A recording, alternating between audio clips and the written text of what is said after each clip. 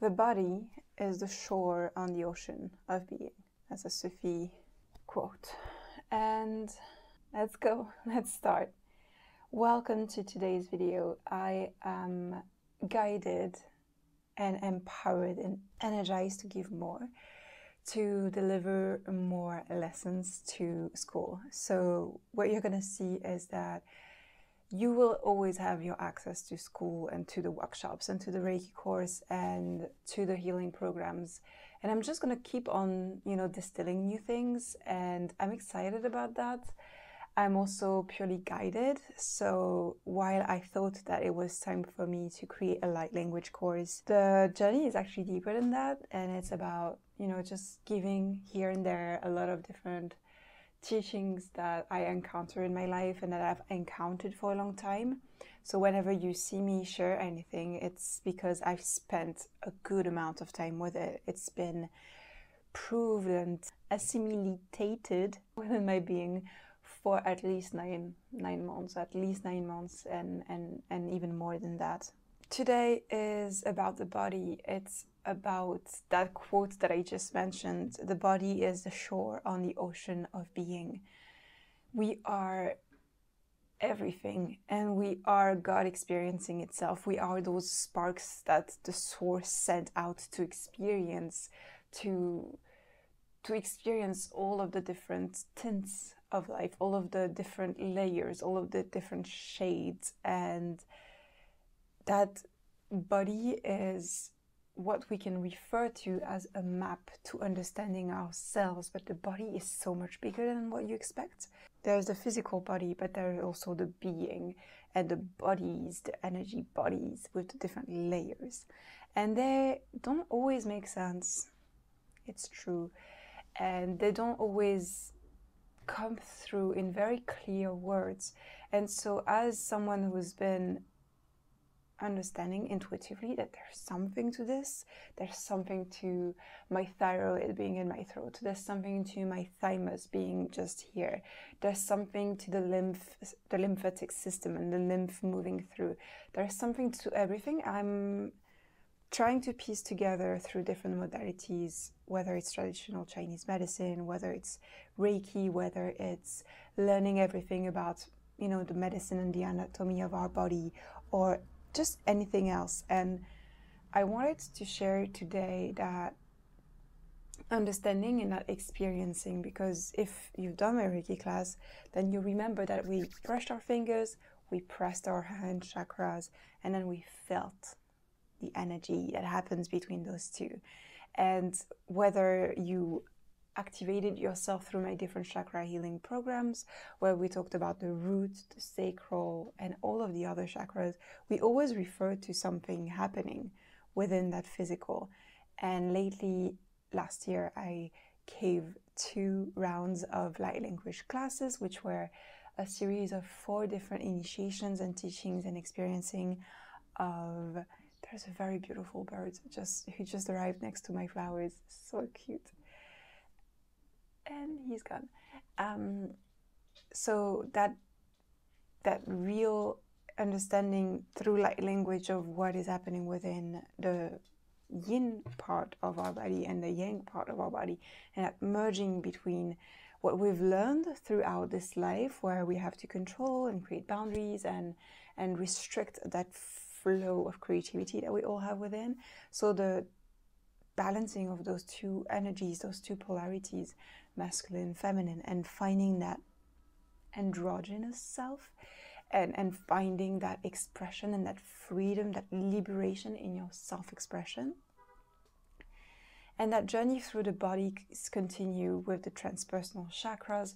It continues with understanding like the other parts, the back of the heart, the back of your shoulders, the back of the throat, the back of the head, understanding what is above your head, what is underneath your feet, and just really understanding that the body is not just what is contoured by your skin right now. It's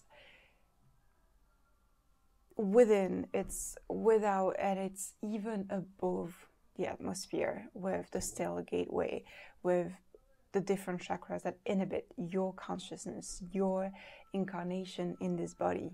And so I offered a few lessons for free on YouTube where I talked about light language. So I have a series of little videos, and the last one is called toning, and it's all about using the body to sense the body and to go beyond. So it's an experience in making sound through an open mouth or a closed mouth and understanding, feeling just like a sound bath, the vibration that happens, how it ripples through your body, and how you can set a frequency for you to inhabit and remember that throughout the day. It's also something that has to do with the different responses that we can have to difficult moments, like the fight and flight and the freeze and fawn responses. And the body registers, the body is filled of information. Every time I see a client, I see someone that I do energy work with, every time I see a friend of mine that asks me for Reiki, I'm clairsentient, I feel through my body. So this is even more, you know, related to the body. But there's a lot of lack of flow. So little things that stay in places and that don't move and flow and evolve.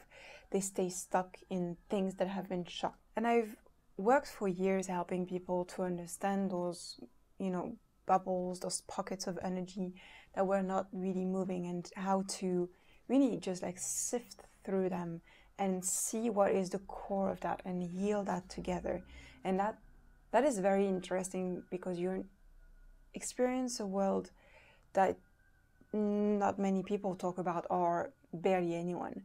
And then you find out that there's actual scientific studies about what happens in our body when we come across those traumatic events that necessitate a response from us, those four F's the fight, flight, freeze, and fawn. So today I want to talk about this. I want to talk about the reality that trauma lives inside of your body.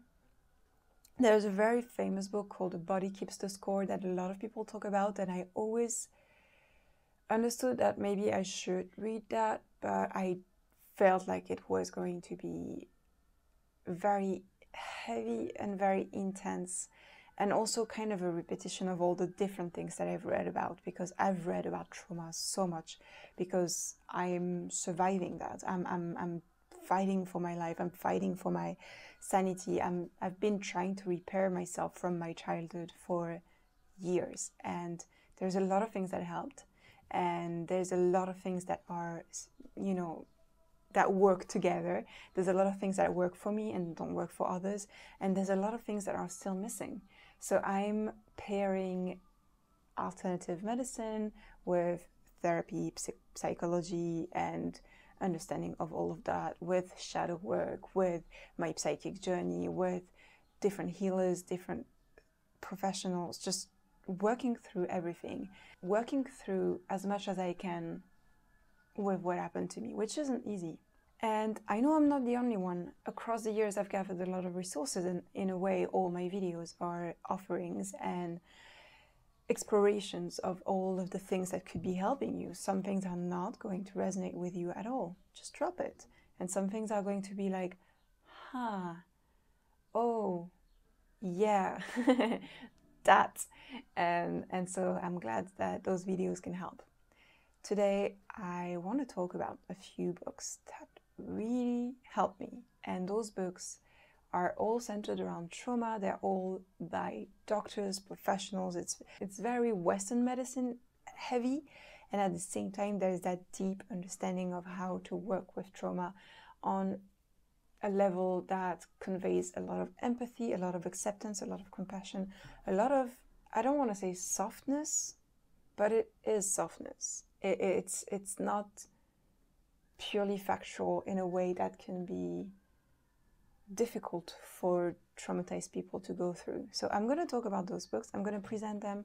I'm going to present what I learned from them and all of those books are they're not textbooks. They're not theses. They're actually healing books with experiences, with case studies, but also with exercises, with tips. And this is what I live for. I live for receiving tips and giving tips. I, I just need, it's like a video game. I need to know how I can get past the grotto in Pokemon. I need you to tell me where I can find the flash so that I can have some light in that grotto. So give me CS flash, please. Um, let's go with those trauma healing books. So the first book is called Waking the Tiger by Peter A. Levine.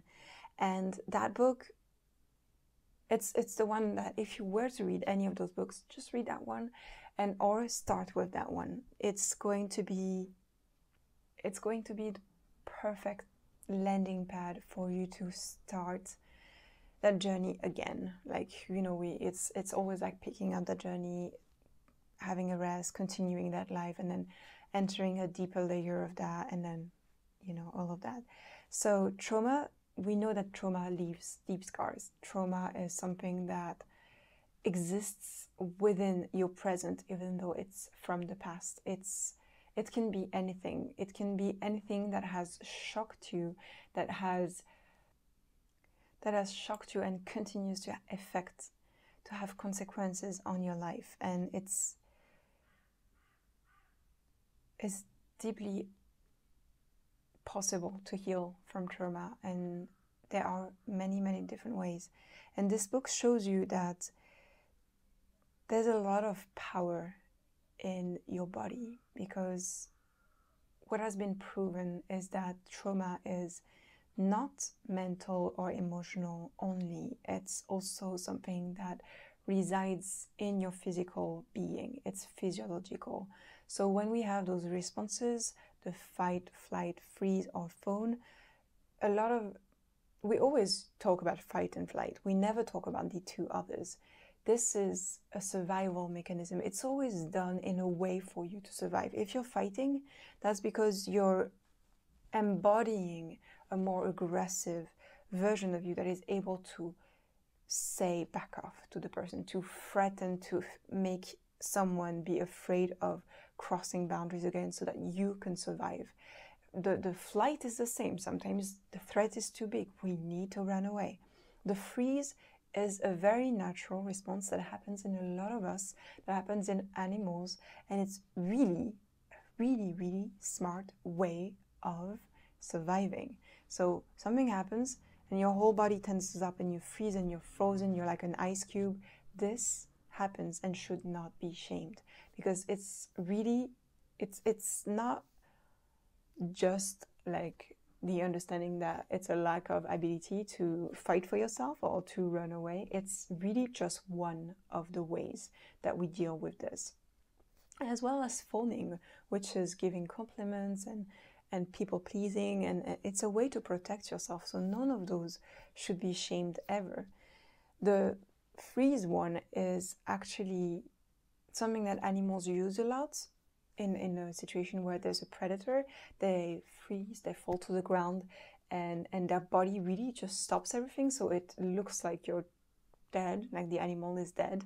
And so the predator can move away. Or if the predator decided to eat you, let's say a lion and, and an antelope, and that freeze response is actually making all of the pathways for possible pain in being, you know, ripped apart by a lion, it, it, actually protects the being who is not yet dead from feeling that pain. It, it really dissociates the animal from what is happening so that when you are indeed being attacked, there is no suffering. So it's it's really something that is instinctual that happens, and we, if we understand that we're evolved from animals or that we're just you know uh, mammals, this is something that makes sense. That we should freeze in situations where we just don't have anything else.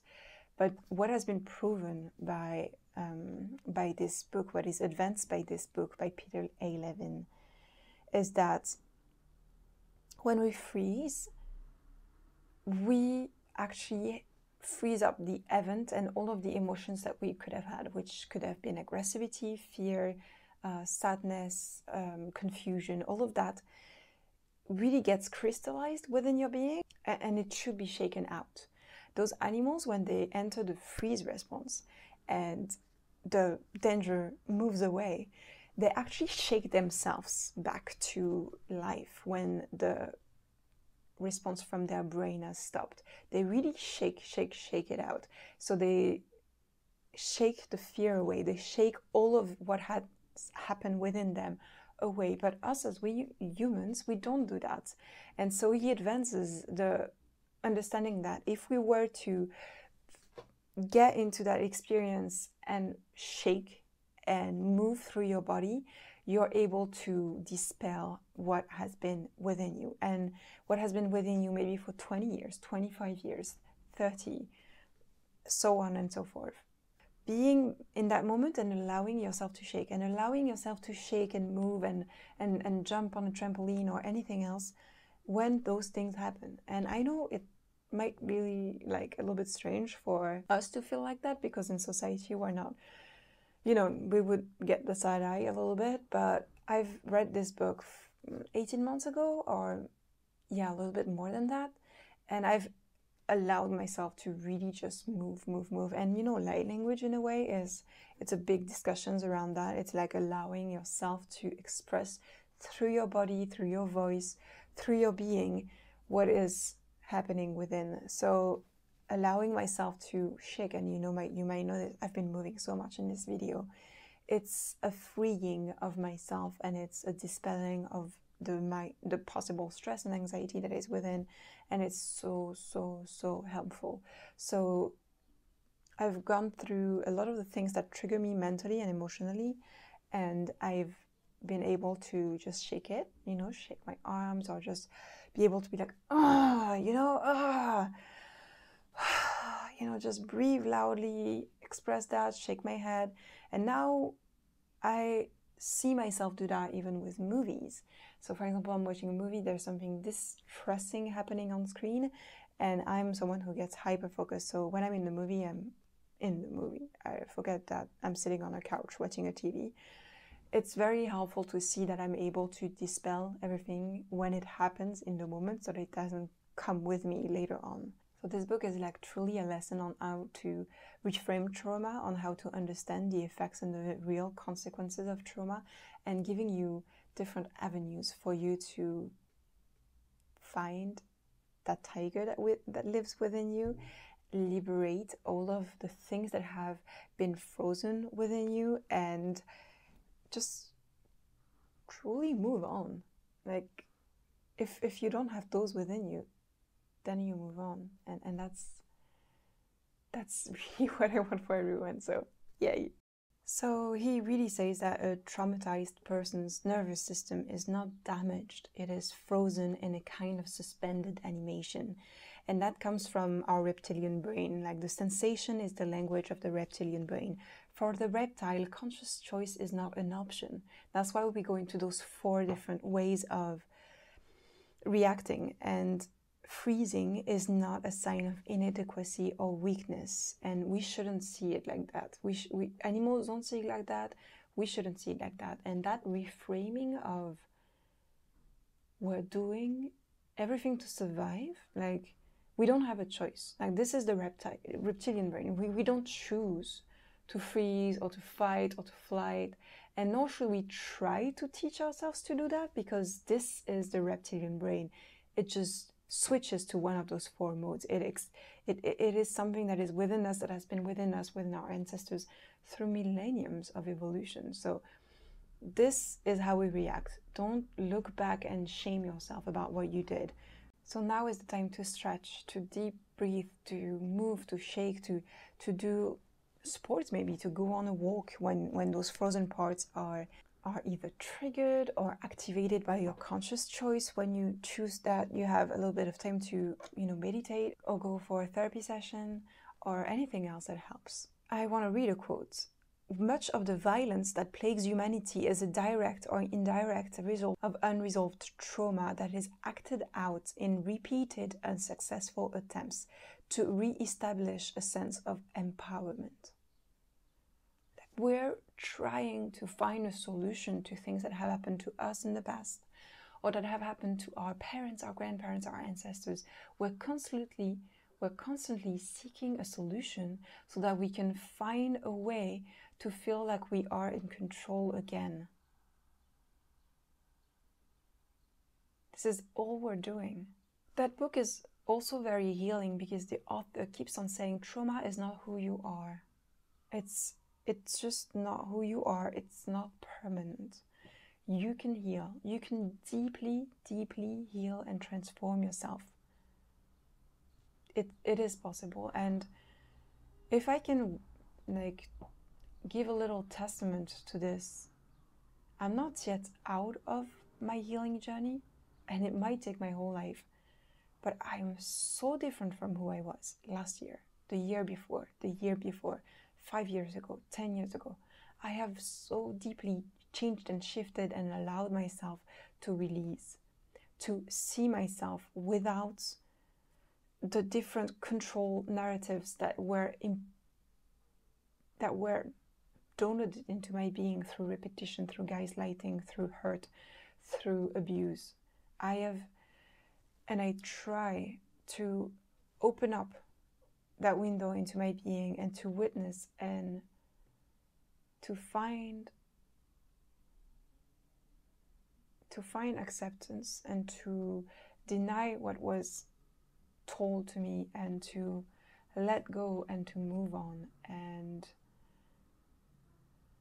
I hope the same for everyone. I'm going to read another quote. Transformation requires a willingness to challenge your basic beliefs about who you are. We must have the faith to trust responses and sensations that we can't fully understand, and a willingness to experience ourselves flowing in harmony with the primitive, natural laws that will take over and balance our seemingly incongruous perceptions. Traumatized people must let go of all kinds of beliefs and preconceptions in order to complete the journey back to health. Remember, letting go never happens all at once.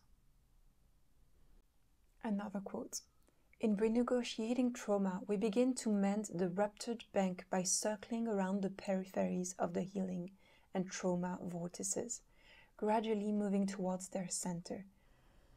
We begin by riding the wobble created by those two opposing forces, experiencing the turbulence between them.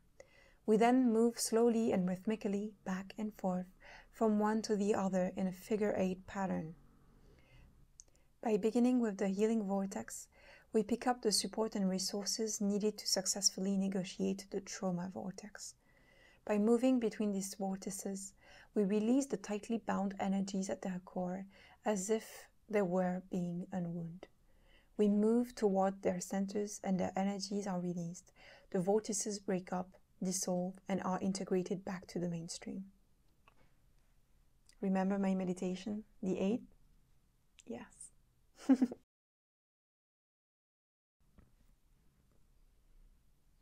I'm going to put it in the description box and in the cards so that you can go do that one again. It's so healing. It's it's not about Lionsgate or the eight or whatever. It is truly connecting those two hemispheres of the brain and that middle point, the corpus callosum, and it's just about this connecting one another. And when you cross that threshold through visualizing and moving your eyes, when you cross that threshold, you activate parts of yourself, you heal, you create a flow again. Um, I could talk about this book for hours, and this I've already been super long. I'm just gonna recommend you to read that book. Wake the Tiger. All right, let's move on to the next book, Widen the Window by Elizabeth Stanley. So this book is written by a trauma survivor and neuroscientist. So there's a lot of science to it. As a, as I said before, this book is, you know, Western medicine heavy. In this book, she explains that trauma is not just a past event that affects us, but a perception of the world. It, it, it's like it's a state of being that changes how we perceive the world. And she gives us many different tips about, again, the physical body, all of that physiological state of being, and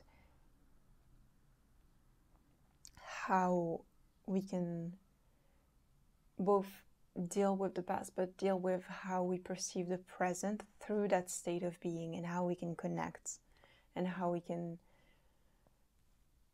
manage the rising anxiety and panic that might happen, and that is through the contact points. So, the contact points were so helpful, and I've actually been using that reality, that remembering through a lot of different meditations I've had with my clients and, and within my school. And it's remembering that you're always in a physical body that is connected to the earth, supported by the earth. Right now, I'm sitting on a chair. And so I'm actively tapping into the perception that my muscles and my back have of the chair. And if I do this a lot, and if I remind myself to do it a lot, it helps ground me from my very overactive mind that has the propensity to think and panic about the worst case scenario. Grounding in that sensation is super helpful. The author also mentions that stress creates cortisol, and how can we dispel cortisol when we're faced with that stress that might happen when we're totally not moving and, and, and just overthinking and going through that moment of difficulty.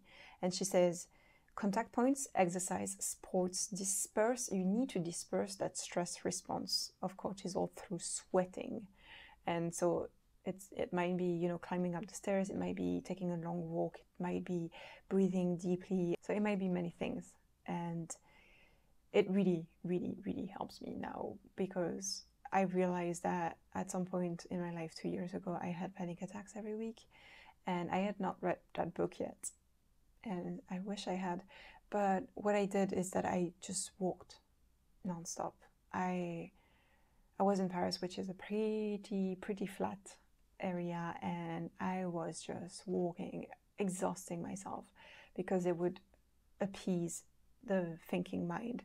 So I really recommend following that advice, reading that book, and sweating, connecting to your contact points, and understanding that you can really change the perception that you have of the world, which means ultimately moving on from what you have known to be true about the world based on what you have experienced, which is very true. But is it helping the third book is When the Body Says No The Hidden Cost of Stress by Dr. Gabor Mate. It's he explores the connection between stress and trauma and medical conditions. So that book is actually more like a textbook. It's difficult to read it. It's you know, um, I don't recommend it reading it in one go because it's it's heavy. It complete it contains a lot of uh, cases of cancer and and terminal illnesses but there are a few points that are very helpful. So you don't have to read the book. Maybe we can just talk about it right now, and that's enough. Because it's a book that is written by all the observation of Gabor Mate. There's a lot of questioning and then discoveries and experiments. And I really love this book because there's so many practical strategies for how to deal with stress and how to build resilience because that's that's what we need when we feel like the world is danger because the world is danger and the world has been danger, but it's not always danger. There's a need to create resilience and a remembering that we need to really feel sovereign in our being, in our reality, and that is the work that I did with Sekhmet. I really recommend that video about Sekhmet that I delivered to my school and my Patreon. And I really recommend working with that deity if that's something that calls to you. But it really has changed how I stand up for myself, how I honor myself, how I honor my truth, and how I deal with life, and how I tap into my core instead of looking outside for external validation or external safety. Like I can create my safety now. Anyway, this book is emphasizing the importance of underlying emotional and physical factors that contribute to trauma, such as shame, as guilt, as self blame, and it's it's really the layers that can stop us from addressing our trauma because we're constantly criticizing ourselves through it. So those understanding of the fact that it's physiological that it stays in the body that we have tried to survive in any way shape or form that we can and it doesn't look like what a marvel hero would do with the cape and the superpowers um, it's it's important to see that and to not repress your emotions but be a little bit like an investigator that understands and soothes and, and, and tries to go deeper to the root cause, which is very much like shadow work, but also has self care moments where you can relax and rest and be taken care of or take care of yourself and find a way to feel better, to do better, to be better. He even calls it an attack on the self, which is super interesting. All that shame and guilt and, and blame and so it's important to remove that so that you can have access and create your own safety within your mind.